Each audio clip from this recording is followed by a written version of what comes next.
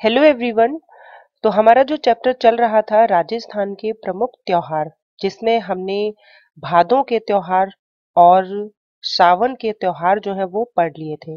अब हम पढ़ेंगे आश्विन माह में आने वाले प्रमुख त्योहार। तो सबसे पहले है नवरात्रा। तो सबसे पहले तो ये जानिए कि एक साल में चार बार जो है नवरात्रे आते हैं, जिनमें से दो नवरात्रों के बारे में तो हम सभी जानते हैं। और बाकी जो दो नवरात्रे जिन्हें गुप्त नवरात्रा कहा जाता है तो आम लोग जो है तो इन दिनों में जो है पूजा नहीं करते हैं। बाकी जो दो, दो नवरात्रे हैं जिसमें से एक आश्विन माह में आता है और दूसरा चैत्र माह में आता है। तो ये दोनों नवरात्रों को हम लोग पूछते हैं। आठ या नौ दिन जो है माता की पूजा की जाती है। आश्विन शुक्ल प्रतिपदा से नवमी तक जो है नवरात्रा मनाया जाता है। कौन से वाले नवरात्रे? शारदीय नवरात्रे। और दुर्गा अष्टमी पश्चिमी बंगाल में लोकप्रिय है। तो ये चीज़ हम जानते हैं कि पश्चिमी बंगाल में सबसे बड़ा त्योहार जो है यही होता है, दुर्गा अष्टमी। माँ दुर्गा की उपासना, पूजा जो है की जाती है। तो पूरे आठ दिन जो है, यहाँ पर भजन, कीर्तन वगैरह गाए जाते हैं और नौवे दिन क्या किया जाता है कि छोटी कन्याओं को बुलाकर उन्हें जो है भोजन कराया जाता है और जिन लोगों ने व्रत वगैरह किया होता है, उपवास किया होता है तो वह उपवास उस दिन खोला जाता है। यानी नौ दिन जो है माता की पूजा की जाती है। तो याद रखेंगे, नवरात्रे एक तो चैत्र में आने वाले और दूसरे आश्विन माह में आने वाले नवरात्रे। दशहरा या विजयदशमी। तो दशहरा जो है, आश्विन शुक्ल दशमी को मनाया जाता है और इस दिन भगवान राम ने रावण का वध किया था। तो इस उपलक्ष्य में क्या मनाते हैं? दशहरे का त्योहार मनाया जाता है। भारत में दशहरे का मेला मैसूर का प्रसिद्ध है, जबकि राजस्थान में कोटा में मेला लगता है। दशहरे का बहुत बड़ा। इस दिन खेजड़ी जो है वृक्ष इसकी पूजा होती है और लील टांस पक्षी का दर्शन करना शुभ माना जाता है। तो याद रखना है दशहरा या विजयदशमी जो है आश्विन शुक्ल दशमी को मनाया जाता है। नेक्स्ट देखिए शरद पूर्णिमा। तो शरद पूर्णिमा का त्योहार जो है आश्विन पूर्णिमा को मनाया जाता है ठीक है? और पूरे साल में केवल इसी दिन जो चंद्रमा है, वह सोलह कलाओं से परिपूर्ण हो जाता है। और ऐसा मानते हैं कि रात में चंद्रमा की किरणों से जो है अमृत झड़ता है तो रात्रि को खीर बनाकर जो है लोग रखते हैं चांदनी में और सुबह जो है वह खीर खाई जाती है। तो ऐसा विधान जो है, वो पहले से ही चला आ रहा है, ठीक है? तो याद रखना है, शरद पूर्णिमा जो है, कब मनाई जाती है? आश्विन पूर्णिमा को मनाई जाती है। नेक्स्ट देखें, करवा चौथ। तो इस व्रत के बारे में सभी जानते हैं, करवा चौथ का व्रत जो है, किस तरीके से किया जाता है? अपने पति की लंबी आयु के लिए महिलाएँ जो है, इस व्रत को करती हैं और रात्रि के समय चंद्रमा के आने पर जो है अर्घ दिया जाता है और उसके बाद व्रत खोला जाता है। तो याद केवल इतना ही रखना है कि करवा चौथ कब किया जाता है? कार्तिक, कृष्ण चतुर्थी को करवा चौथ का व्रत किया जाता है। अहोई अष्टमी। अहोई अष्टमी जो है कार्तिक, कृष्ण अष्टमी को मनाई जाती है। अहोई अष्टमी का त्योहार कब मनाया जाता है? कार्तिक कृष्ण अष्टमी को मनाया जाता है।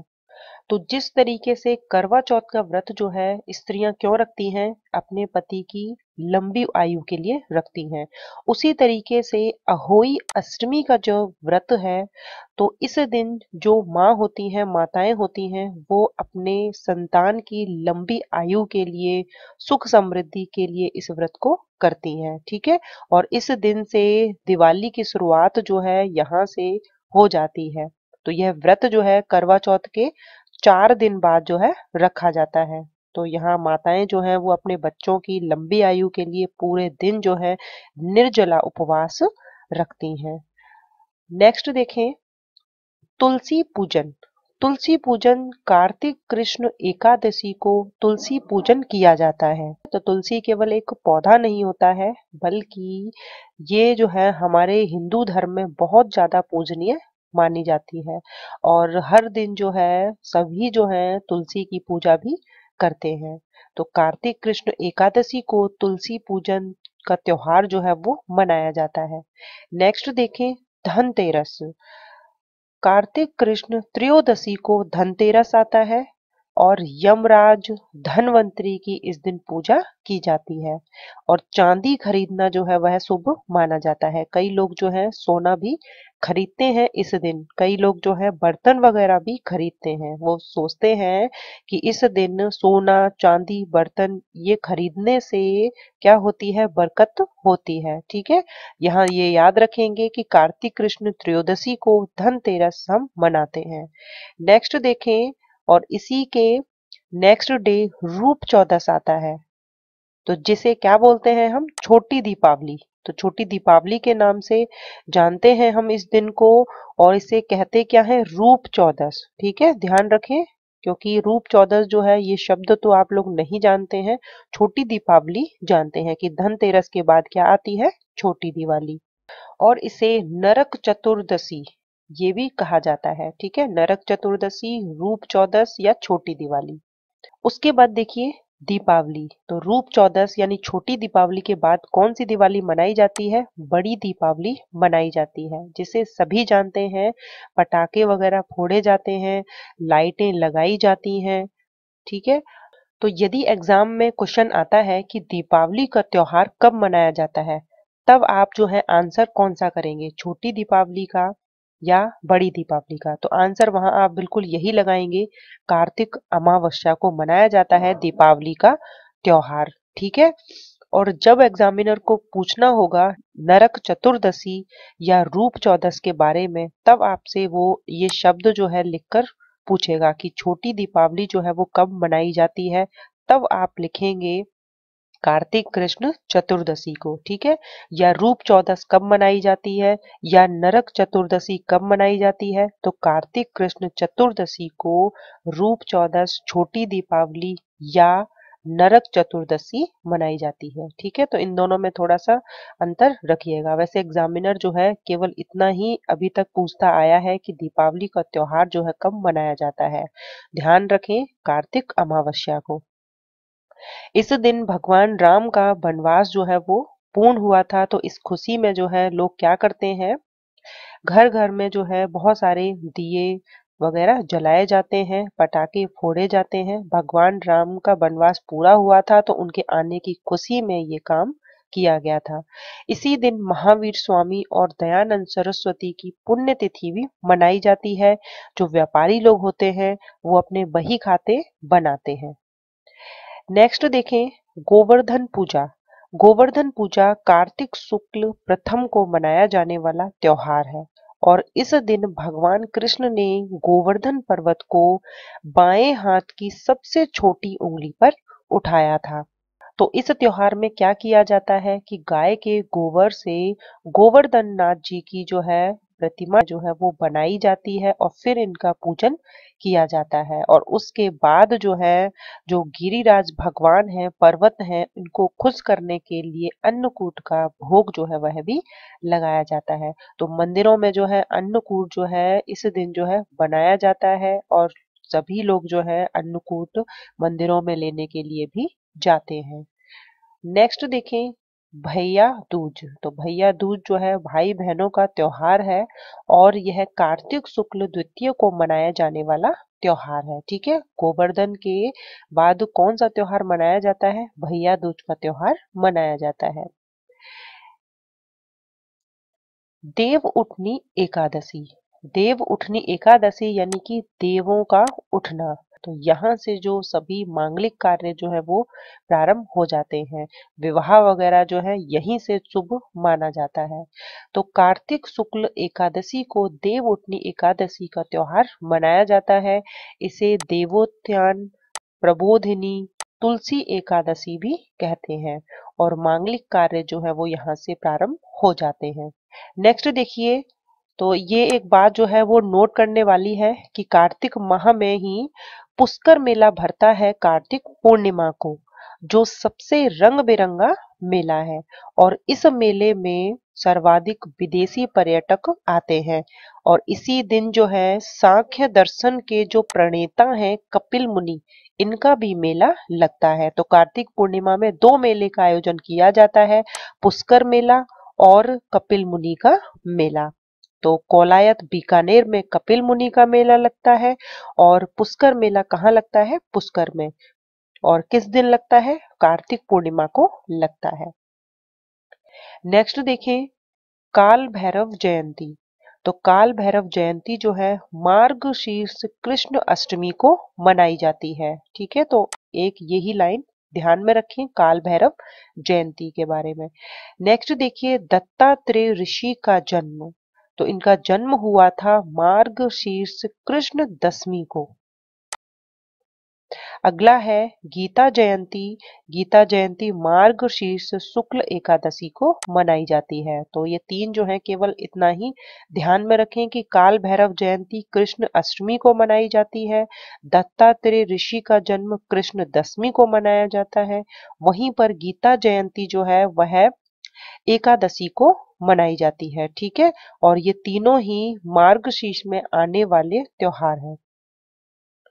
नेक्स्ट देखिए तिल चौथ का त्योहार। तो तिल चौथ जिसे संकटा चौथ भी कहा जाता है, और इस दिन गणेश जी की पूजा की जाती है। व्रत किया जाता है, और शाम के समय जो है, तिल और गुड़ जो है, इनको मिलाकर और फिर भगवान को इसका भोग लगाया जाता है। और फिर चंद्रमा को अर्घ दिया जाता है और इस तरीके से जैसे करवा चौथ का त्योहार होता है, उसी तरीके से तिल चौथ मनाई जाती है, ठीक है? तो माघ कृष्ण चतुर्थी को यह त्योहार मनाया जाता है, गणेश जी और चौथ माता को तिल का भोग लगाया जाता है। तो आपको तो केवल इतना याद रखना है कि माघ कृष्ण चतुर्थी को तिल चौथ मनाई जाती है। नेक्स्ट देखिए, बसंत पंचमी। तो बसंत पंचमी का त्योहार जो है, हिंदुओं का विशेष त्योहार है और इस दिन जो है, पीले वस्त्र धारण किए जाते हैं। माघ शुक्ल पंचमी को यह त्योहार मनाया जाता है। बसंत का प्रारंभ हो जाता है। यहाँ तक कि खेतों में सरसों जो है, उनके पीले फूल जो है, वो भी दिखाई देते हैं और गेहूँ है, जौ है, उनकी बालियाँ जो है, वह भी दिखाई देती है और सरस्वती माँ जो है, इनकी पूजा जो है, इस दिन की जाती है। ठीक है? इस दिन विद्या की जो देवी है, सरस्वती, इनकी पूजा भी की जाती है। शिवरात्रि का त्योहार।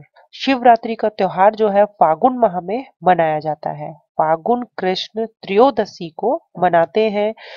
इस दिन शिव जी और पार्वती की शादी हुई थी। और देखिए, फ़ेमस है महाशिवरात्रि मेला करौली का। फुलेरा दूज। तो इस दिन जो है, जिन लोगों का विवाह जो है, पूरे साल भर जो है, जिनका मुहूर्त नहीं निकल पाता है तो वो लोग इस दिन शादियाँ करते हैं। तो बहुत सारी शादियाँ जो है, इस दिन होती हैं। फुलेरा दूज के दिन, फागुन शुक्ल द्वितीय को। ध्यान में रखना है इसको। नेक्स्ट देखें, होली का त्योहार। तो जिसे आप सभी जानते हैं कि होली का त्योहार यानी फागुन आ गया है तो फागुन में ही होली का त्योहार मनाया जाता है, फागुन पूर्णिमा को। हिरण्य कश्यप का पुत्र प्रहलाद था, जो विष्णु भक्त था, जिसे जलाने के लिए हिरण्य कश्यप की जो बहन थी होलिका तो वो खुद जल गई थी, ठीक है? तो होलिका दहन जब हम करते हैं तो माइंड में क्या लाते हैं? यही लाते हैं कि होलिका जो है, लेकर बैठी हैं प्रहलाद को अपनी गोद में। और होलिका तो जल जाती हैं और प्रहलाद जो है वो नहीं जलते हैं क्योंकि इन पर भगवान की कृपा थी। तो लठमार होली जो है कहाँ की प्रसिद्ध है? महावीर जी करौली की प्रसिद्ध है, ठीक है? मोस्ट इंपॉर्टेंट लाइन है और ये क्वेश्चन जो है कई बार एग्ज़ाम में आया है कि लठमार होली कहाँ की प्रसिद्ध है? तो करौली की प्रसिद्ध है। वहीं पर पत्थर मार होली जो है, कहाँ की प्रसिद्ध है? बाड़मेर की प्रसिद्ध है। देवर भावी की होली ब्यावर अजमेर की प्रसिद्ध है। तो ये तीनों पॉइंट जो है, होली के बारे में ध्यान में रखें। तो याद रखना है, फागुन पूर्णिमा को होली का त्योहार मनाया जाता है। लठमार होली महावीर जी करौली की प्रसिद्ध है। बाड़मेर की पत्थर मार होली और ब्यावर अजमेर की देवर भावी की होली। मकर संक्रांति। मकर संक्रांति 14 जनवरी को मनाई जाती है और सूर्य जो है, इस दिन मकर राशि में प्रवेश कर जाता है या सूर्य का उत्तरायण में प्रवेश। पतंग महोत्सव होता है इस दिन। लोग जो है, पतंग उड़ाते हैं। राजस्थान विकास निगम द्वारा जयपुर में कराया जाता है। किस दिन होता है? मकर संक्रांति के दिन 14 जनवरी को। तो आज हम यहीं तक करेंगे। बहुत सारे त्योहारों के बारे में आज हमने जाना। तो मिलते हैं नेक्स्ट वीडियो में, जहाँ पर त्योहारों का जो टॉपिक है, वो कंप्लीट हो जाएगा। तब तक आप जो भी त्योहारों के बारे में मैंने आपको बताया है, उसे बार बार आपको देखना है, पढ़ना है, कौन सा त्योहार किस माह में, किस तिथि को मनाया जाता है और क्यों मनाया जाता है। तो ये तीन जो लाइनें हैं, वो आपको ध्यान में रखनी है। मिलते हैं नेक्स्ट वीडियो में. Thank you